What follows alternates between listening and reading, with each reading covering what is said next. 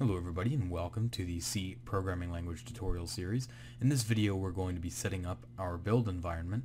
Uh, we're going to be doing this on Windows but it will also be able to apply to Linux, more specifically Ubuntu, because we're going to be using Ubuntu on Windows to manage everything.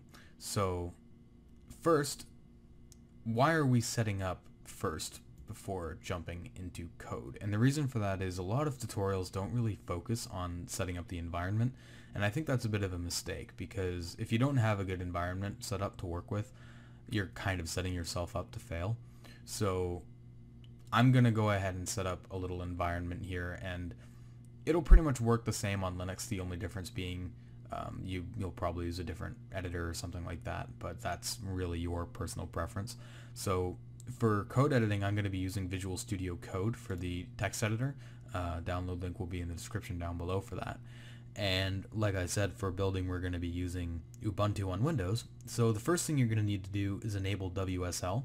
So WSL is a newer feature that was introduced late into 2017 into Windows, and it's called Windows Subsystem for Linux. So it basically allows you to run Linux distros on Windows natively.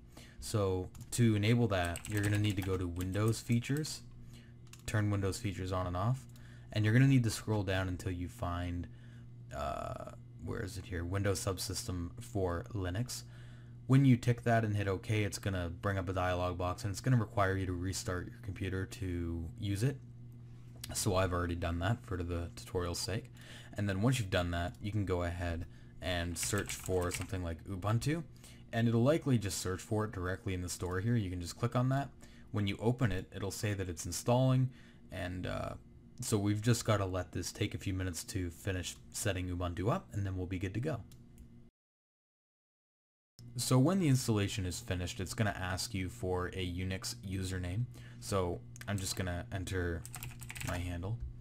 And it'll ask you for a password too. So you can just type that in.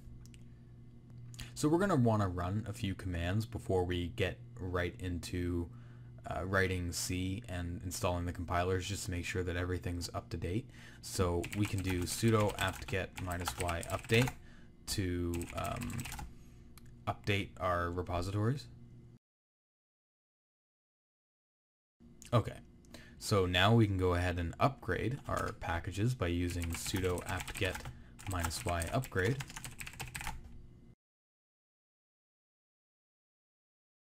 Okay, so now we've gotten all of our packages updated and stuff like that, so we're good to go ahead and install the tools necessary to uh, start compiling C. So the compiler that we're going to use to compile C is called GCC, but if we go ahead and run that right now, you can see that's uh, that's not found, and the reason is we don't have the proper packages installed to be able to run it. So in order to get going with building C, we're going to have to install a package called build essential. So we'll do sudo apt-get install build essential. And then when that's finished, we'll have everything we need. And uh, so as you can see, it does use a little bit of disk space, 160 megabytes. Um, but yeah, I'm sure you'll probably have enough space for that. So you can just hit Y to continue. And then as soon as this is done, we can go ahead and start compiling. So now that build essential is finished installing, we now have the compiler to be able to compile C files. So as you can see, when we type in GCC, it says fatal error, no input files. So in this video, we're not going to get into writing C just yet. I just wanted this video to be setting up the build environment. I wanted to get that out of the way, but I will show you a little bit of C code just to show you that the compiler that we've set up works. So I'm just going to go ahead and write a little hello world program just to show you that the compiler works. Okay, so now that we have a source file, you can see it right here. This is basically just a hello world. So I'm not going to go ahead and break everything down just yet. I'll do that in the next video. But all you need to understand is basically what this program does is it just prints hello world to the terminal and that's all it's going to do. So first I just need to cd into my working directory. So let me just see where I am first. So Okay, so here's a little bit of a note with WSL.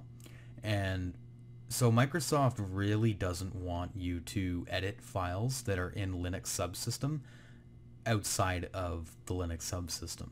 So basically the way this works is in bash in this uh, ubuntu uh, instance we're running it's using a linux file system but we can't like we can access that file system from the file explorer down here if we go into app data but it can cause corruption and a bunch of issues if we try to edit those files from windows so we're just not even going to bother so a way we can get around that is by cding into the mount directory. And from here, we can see we have access to all of our drives. So we can basically exit the Linux subsystem that has like the home drive, uh, the home directory and all that stuff, and we can just cd back into um, where the drives are mounted on Windows. So we can go c slash um, users my name and then documentation or sorry documents and I think I have my folder in here. Okay, I just needed to quickly move the file around because it was having issues.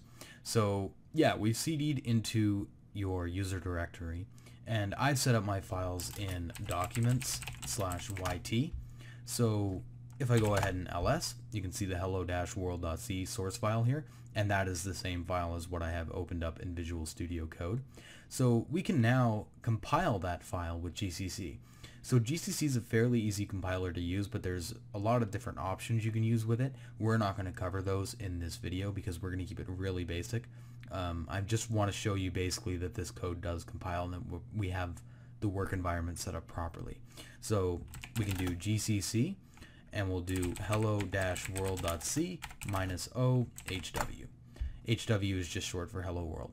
So breaking this command down a little bit, hello-world.c is our source file minus O is basically the output option. So it's basically saying um, output the compiled uh, source code to this file right here. So if we go ahead and ls again, you can see our source file, it was there before, but there's this new HW file, and that's our executable.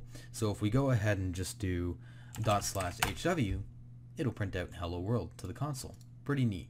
Uh, pretty simple program, but we will get more in depth in the next video. But like I said, uh, in this video I just wanted to set up the work environment.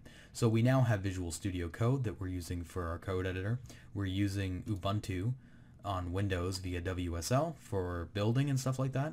And where this is kind of cool from a tutorial aspect is if you're an Ubuntu user and you don't use Windows, you can follow this tutorial pretty easily. You just you can just skip the steps for setting up Ubuntu on Windows. You just do these steps inside of Ubuntu directly. I hope you guys enjoyed the tutorial. I've also started a Patreon. Uh, if you want to take a look at that and if you'd like to donate, you can take a look at the description down below. And I will see you guys in the next video.